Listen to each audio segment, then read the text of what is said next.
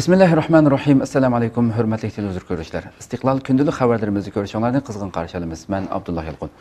Proqramımızda vətənimiz Şərq Türkistan və dünyada olub atqan gün tərtibdəki xəbərləri huzurunuza sunuşdurışımız qənəmsiz diqqətlər ekranımızda olsun.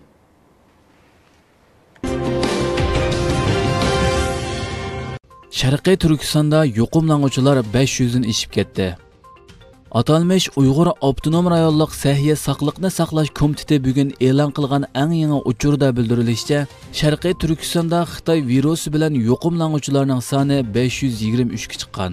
30 iyul soat 0 dan kech soat 24 ga qadar urumchi shahrida yangidan 112 kishi xitoy virusi bilan yuqumlangan Bularning ichida yangidan bayqalgan kasallik alomati ko'rilmagan yuqumlanuvchilar 30 ekan. Yuqumlanuvchilardan diviziyada 1 kishi, Qashqarda 1 kishi, Sanjida 1 kishi bor bo'lib, qolgan 520 bemorning hammasi Urumchi shahrida ekan.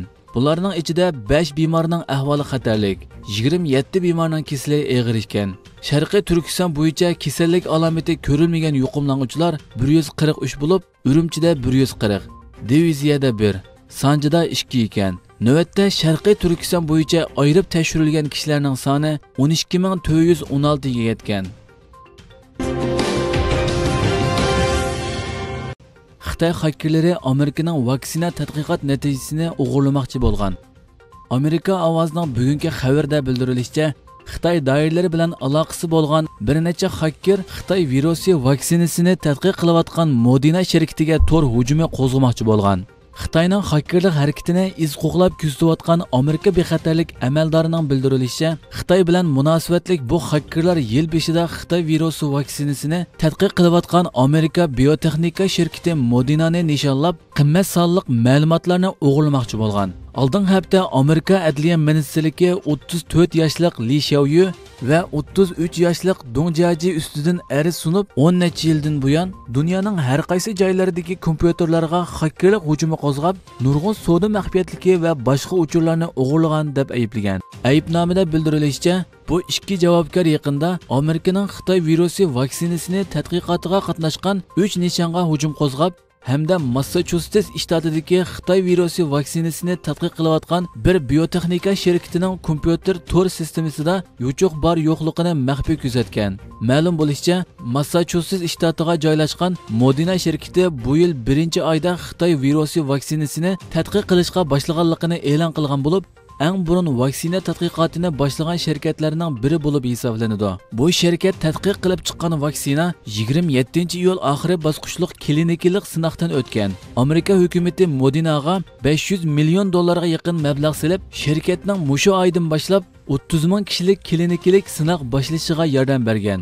Xitoyning Wuhan shahrida paydo bo'lgan Xitoy virusi butun dunyo miqyosida 660 mingdan ortiq odamning o'lishini keltirib chiqargan. Amerikada qazo qilganlar 150 mingdan eshib ketgan.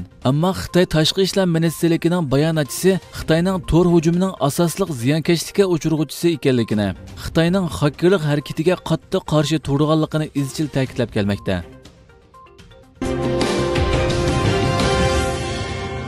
Dunyo uyg'ur qurultiyi xalqaro olimpik komitetiga maktub yo'lladi.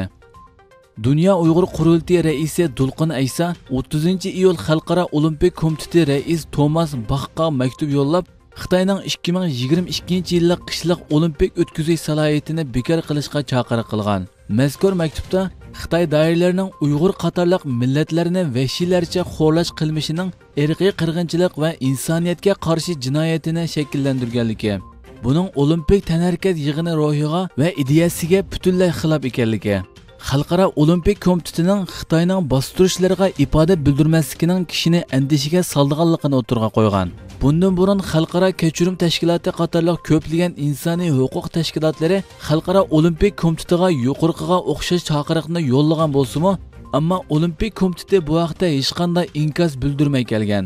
Fransiya Xalqaro radiosi Dunyo Uyg'ur qurultiyining bu maktubi haqida Xalqaro Olimpik komiteti bilan aloqalashgan bo'lsimi bu vaqtda hech qanday javobga erishmagan. Olimpik komitetining ma'lum hay'at a'zosi bundan burun bildirgan so'zida kelar yildagi Tokio Olimpik tanharakat yig'ini va 2022 yildagi Beijing qishliq Olimpik tanharakat yig'inining Xitoy virusi sababli o'tkazilmasligi mumkinligini o'ttirg'a qo'ygan.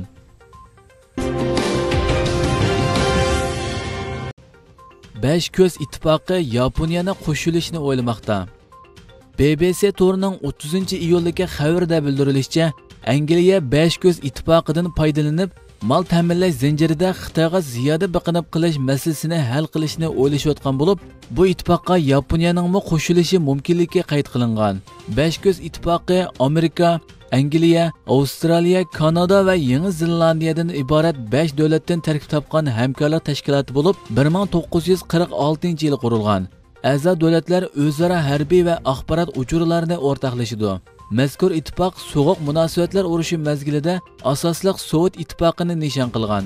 Sovet ittifoqi parchalangandan keyin asosliq diqqatini terrorlikqa qarshi hamkorlikqa qaratgan. Amerika xitoy munosabatining yiriklashishiga agishib xitoy besh ko'z ittifoqining asosliq diqqat obyektiga aylangan.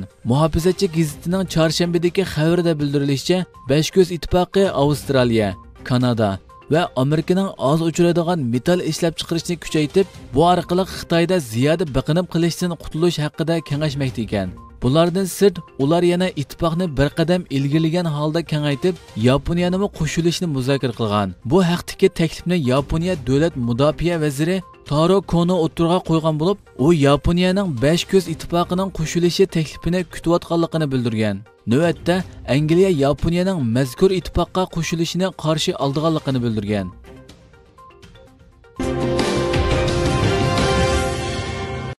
Xitoy virusining sharqiy turkistondagi lager va majburiy amgak zavodlariga tarqalib ketishi haqidagi andishalar kuchaymoqda. Navbatda sharqiy turkistonda xitoy virusi yuqumining davomli kengayishi muhojiratga uyg'urlarda va kishilik huquq tashkilotlarida yuqumning rayondagi jazo lagerlariga va majburiy amgak korxonalariga kengayib ketish xavfiga bo'lgan andishasini tiximo kuchaytmoqda. Xitoy sahiya doiralarining 30 iyul oshkorlashicha 29 iyul kuni xitoy miqyosida 101 yuqumlanuvchi bayqalgan holbuki buning mutlaq ko'p qismi sharqiy turkiston ekan.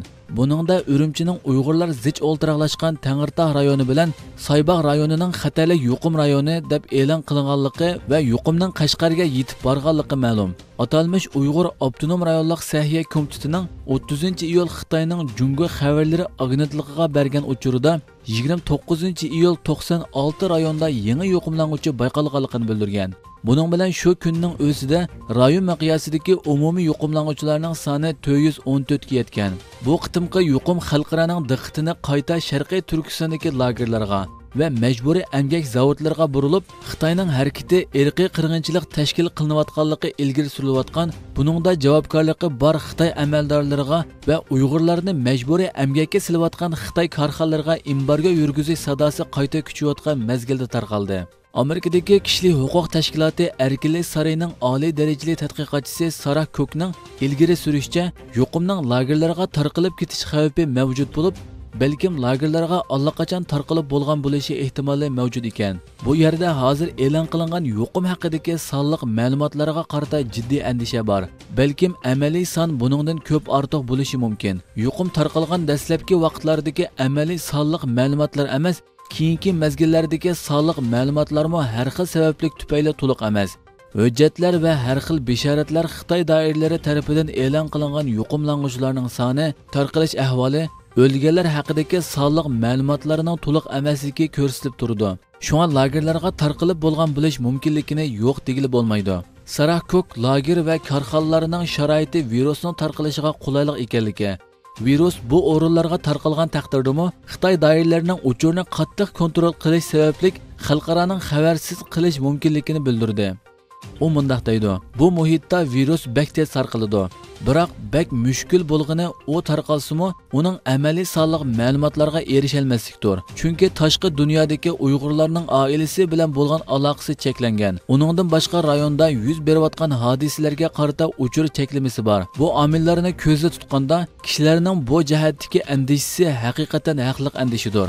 Navbatda xitoy doiralari sharqiy turkistondagi nurg'un joylarda karantin e'lon qilib fuqarolarning sirtqa chiqishini cheklagan. Lekin sharqiy turkistondagi xitoy zavodlarida majburiy amgakka silinayotgan uyg'ur ishchilarining uyga qaytarilganligi yoki davomli zavodlarda ishlatilayotganligi aniq emas. Xotinning kerya nohiyasidagi chongda panarka zavodi 2016 yili yana xitoy doiralarining 2017 yili boshlangan cho'ng tutqun harpisida qurilgan xitoy korxonalarining biri bo'lib ishchilarining hammasi yalik uyg'ur dehqonlardir mazkur zavodning bir mas'uli 30 iyul bu zavoddagi 300 dak uyg'ur ishchining uylariga qaytganligiga bir haftalik bo'lganligi.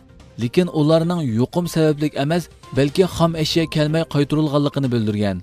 U mundoq degan. Zavodimizda 300 dak ishchi bor. Hozir zavodimiz ishlab chiqarishni to'xtaganligiga bir haftadek bo'ldi. Sababi xom ashyo yo'q. Ishlarimizning hammasi yerlik dehqonlar. Odatda ular 10 soat ishlaydi. Ular ishlashiga qarab haq oladi. Qanchalik ish qilsa shunchalik haq berildi. Ba'zi analizchilarning ilgari surishicha yuqumning urumchi va qashqardek bir biridan yiroq shaharda tarqalishi va jamiyatga tarqalish nisbatining yuqori bo'lish butkul sharqiy turkistondagi yuqumga aloqador bir qancha yushurun qiziq joylarining borligini ifodalaydi ekan. Bu so'zlarni avstraliya davlatlik universitetining professori doktor maykl klarik avstraliyaning muhofazachi gazitiga ta'kidlagan. Bu yuqumda lagerlardagi qorovul va lager xodimlarining eng xavfli bo'lish mumkinligini eskartib ular yuqumning lagerlarga tarqatquchi bo'lalaydi. Agar bu ahvol yuz bersa lagerlarda tutib turilayotgan kishilarning salomatligi og'ir xavfga duch kelganligini ko'rsiz degan. Kristofer simis xitoy virusi masalasi xitoyning irqiy qirg'inchilik jinoyatini yushirolmaydi. Amerika tom lentoz kishilik huquq komiteti inson tug'ilishidilla barobar ular izzat hurmatda va huquqda erkin va barobardir degan shuar bilan faoliyat ilib berayotgan bir organdir. Mazkur organ 30 iyul maxsus xitoydagi dinni e'tiqod erkinligi masalasi bo'yicha guvohlik berish yig'ini ochdi.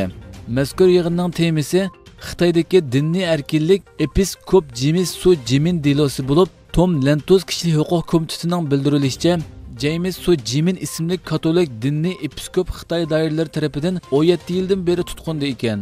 Yig'in riyosatchisi parlament a'zosi Kristofer Simiz apandi yig'inni muni so'zlar bilan boshladi. Episkopis Su qayerda? Biz bugun maxsus episkopis James Su Jimin dilosi ustida to'xtalamiz. Uni biz vijdon mahbusi deb qaraymiz. Kristofer Simiz Xitoyda xristian Tibet buddistlari va hozir eng og'ir bo'lg'ini millionlagan Uyg'urlarni islomiy kimligi tufaylidan zulmga uchrayotganligini ta'kidladi. Bu vaqtda yig'inda naq maydondan qatnashgan Amerika Xalqaro diniy erkinlik komitetining komissari Nuri Turkel apandi guvohlik berdi. U munolarni bildirdi. Xitoy hokimiyati davlat xavfsizligi qonunini ishga silib, barliq dinlarni nishon qilyotidi. үч хил күчкә каршы туруш шуары астыда миллионлыгын уйгырларны йыгылыш лагерларга камыды. Ашкарланган hujjatlar ularning dinni itiqodi sababli tutqun qilinayotganligini isbotladi. Мәсәлән, сақал қойған, яғлық яки роман атқанлармы шуның ичидә. Әң диққат тартыдыгыны Хытай бу лагерлардагы кишиләрне мәҗбүри әмгәккә силеп атыды. Яни Хытай куллык төзүмне кайтадан төрелдереп атыды. Австралия стратегия институты бу елның 5-дә 80 мең уйгырның пахта тукымчылык, электрон va boshqa sohalardagi korxonalardan majburiy emgakka silinayotganligini e'lon qildi. Komissar nuri turkiyal bu xil siyosatning xitoyni diniy erkinlikni ilgari surishga eg'ir to'sqinlik qildiganligini xalqaro diniy erkinlik komitetining xitoyning bu qo'sh bisliq siyosatni to'xtatishni tashabbus qilganligini ta'kidladi. Parlament a'zosi kristofer simiz xitoy virusi tufaylidan dunyoning diqqatining kishilik huquq diniy erkinlik masalasidan yutkilib ketayotganligini lekin xitoyning qilmishlariga qaytadan qarab chiqadiganligini ta'kidlab mundoq dedi. Biz qaytadan xitoyning nimalarni qilayotganligiga diqqat qilishimiz kerak. Albatta xitoy virusi ofati bilan ilishyapmiz lekin shi zinpinning uyg'urlarga irqiy qirg'inchilik yurgizishiga musulmonlarga va boshqa dindikilarga zo'ravonlik qilishiga qarab tursa bo'lmaydi. Nuri turkil apandi shi hatto qur'on qatorliq muqaddas diniy dasturlarni kommunistik ideya bo'yicha qaytadan tarjima qildirganligini eskartib o'tdi. U mundoq dedi. Xitoyning bu qarorlarini chiqarishga sabab bo'lgan munda ikki masala bor. Biri islom va xristian dinini kompartiya g'arbining dini deb qaraydi. U dinlardagi erkinlik va inson qimmati ta'kidlagan ideologiyalardan qo'rqidi qur'onning tekstini o'zgartib tarjima qilib yaqinqi bu ichinishliq reallikdan xeli burunla boshlangan. 11 sentabr voqeasidan keyingi dunyoning islom diniga bo'lgan muomalasidan foydalanib strategiyalik bostirishni boshlagan. Yana bir nuqta bo'lsa kompartiya hozirgi dunyoning siyosiy vaziyatida islom va xristian dinini shi zinpinning dunyoviy lideri bo'lish ideyasiga tahdid deb qaragan. Yig'ilish lagerlaridagi uyg'urlar ochiq oshkor holda dindan voz kechishga va qur'onning o'rniga shi zinpinning ideyasini ugnishga majburlangan. Kristofer simis nuri turkal apandining 11 sentabr voqeasi yuz berganda xitoyning sobiq prezidenti bosh bilan terrorizmga qarshi bir safda turganligini bildirib bu urushdan qandoq foydalanganligini hargiz unutib qolmadi. Tinch o'z holidagi uyg'urlarni qo'rqinchli qilib ko'rsatishga boshlagan. Мен ашу вақытта Ақсарайға телефон қылып, Президентнің енідегі кішілер арқылы Қытайның бұл ұрышта біз сілер білен білі деген ялған сөзге ішенмесікні. Олар бұны баханы қылып, мұсылман ұйғырларға зиянкешілік қылдығалықыны әскерткен еді. Oxirida nuri turkal apandi muni bir qancha talablarni o'tirg'a qo'ydi. Birinchidan man amerika hukumatidan davomli diniy erkinlik masalasida xitoyga bisim qilishni davomlashtirishni talab qilaman. Ikkinchidan bizning ittifoqdoshlarimizning bo'libmi yevropadagi davlatlarning bizga qiritilishini umid qilaman. Meningcha ular texicha xitoyda yuz berayotgan diniy va kishilik huquq dafsanchiligini tunib yetmayotidi. Uchinchidan man davlat majlisini uyg'ur majburiy amgikining oldini ilish qonun loyihasini tezroq ma'qullashga chaqiraman qonun bo'lgandala biz zamonaviy qulluqning qayta bosh ko'tarishini oldini ola